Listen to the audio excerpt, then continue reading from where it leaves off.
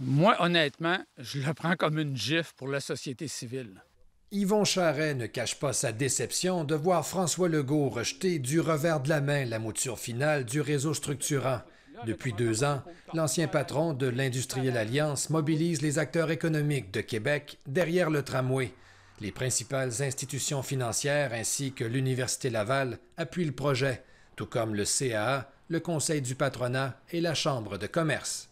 Tout le monde était là. En fait, il n'y a personne qui nous a dit non. La seule question qu'on se posait, c'est est-ce qu'on a oublié quelqu'un? On va mettre 3,1 milliards pour le tramway au centre-ville, puis un petit 200 millions pour les banlieues. Nous, ça ne fait pas notre affaire. C'est une rupture euh, assez remarquable par rapport à tout ce qu'on a entendu l'automne passé.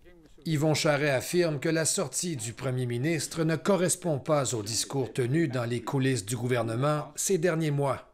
Absolument pas. Je ne peux pas concevoir c'est un projet de centre-ville parce qu'il y a 40% du tracé qui est dans les banlieues. On pourrait faire euh, un métro qui desservirait euh, euh, val euh, comme, je ne sais pas, la côte de Beaupré. Comme, Ce spécialiste en aménagement du territoire croit que la CAQ a des attentes de desserte irréalistes, alors qu'elle limite le budget du projet structurant à 3,3 milliards de dollars.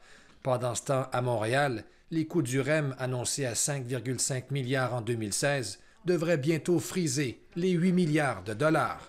Euh, il y a quand même une certaine dichotomie dans le discours, dans l'optique où le transport en commun est super bon pour le développement de Montréal, mais le transport en commun, c'est pas bon pour le développement de Québec. C'est pas un projet pour une personne. C'est un projet pour la communauté et surtout pour les générations à venir.